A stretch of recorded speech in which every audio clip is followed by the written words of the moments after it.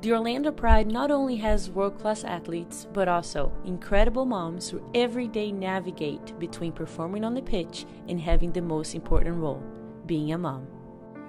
I think that your motivation stays the same, but I think that you have more to fight for, if that makes sense. Yeah, I guess like you don't really think of all the crazy things you used to think of after the game. I think yeah. Ali and I just beeline it for the baby and yeah. Get to see your child in your jersey after yeah. the game. Um, so yeah, I'm glad that we get to share that together. Yeah, it's amazing.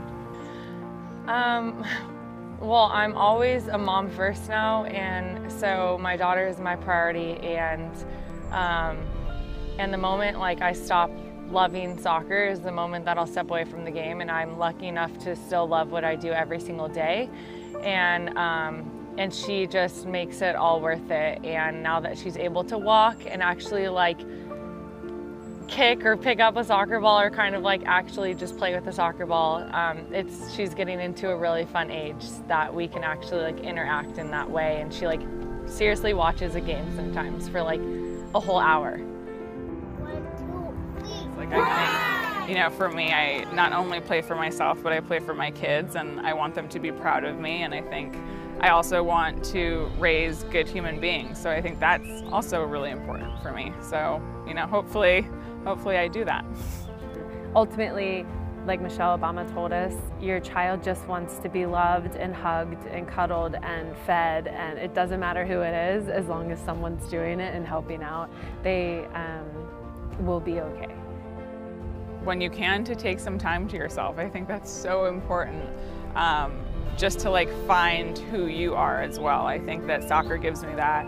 Um, and it just brings me back to my center. And yes, I am a mom, and that is the most important part of my life. But I also get to play, you know, soccer and chase my dreams and do all of those things. So I think that that's really important.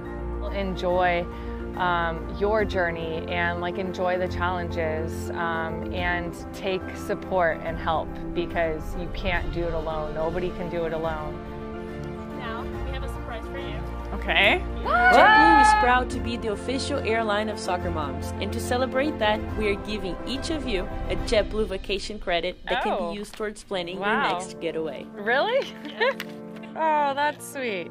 Thank you. Oh. Wow. Thank you, JetBlue. So amazing, JetBlue. Thank you. Wow. Well, thank you, JetBlue. I will be going on vacation.